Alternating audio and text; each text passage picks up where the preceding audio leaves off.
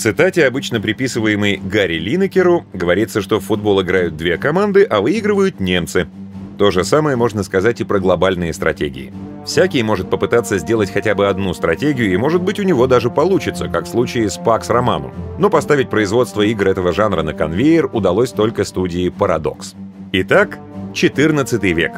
От Византии, давшей название дополнению, остались лишь жалкие земли по берегам проливов, ведущих из Черного моря в Средиземное.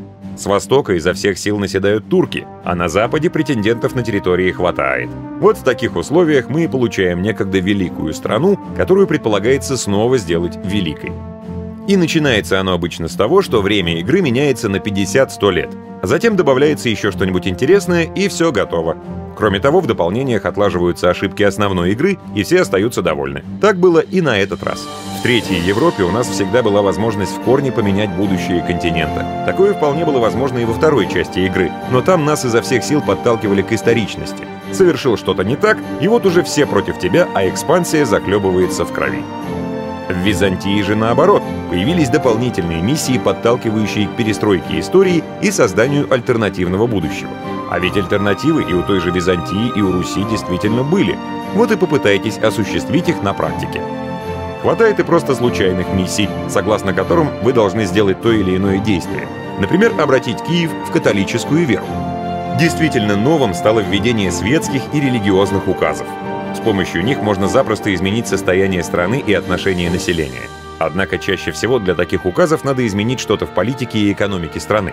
Да и не факт, что их принятие все наладит. Могут возникнуть и проблемы числу более мелких нововведений стоит отнести советников, новые фильтры карт и национальные идеи.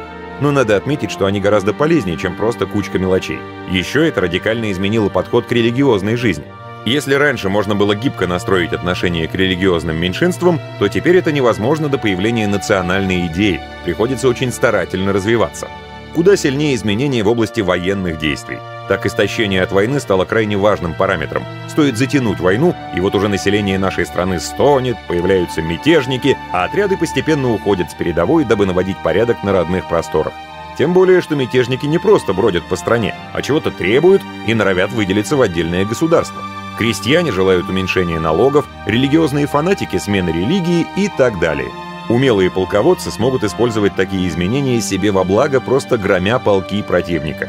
Добивать их теперь гораздо проще, чем раньше. Сильно изменилось отношение к стабильности. Если раньше вы десятилетиями наводили порядок в завоеванных странах, то теперь достаточно всего нескольких лет. И это далеко не все. Были изменены и схемы, ранее относившиеся только к основной игре или первому дополнению. Такие как колонизация и освоение земель в новом свете. Только на простое перечисление всех новшеств потребуется несколько страниц печатного текста. Вот мы и подошли к главному вопросу. Стоит ли играть в Византию? Конечно же, стоит. Ведь это не просто несколько новых миссий и несколько изменений. По сумме этих изменений Европа 3 Византия фактически стала совершенно новой игрой с другими правилами. Очередное дополнение вдруг стало совершенно новой игрой с практически неограниченными возможностями для изысканий и развития.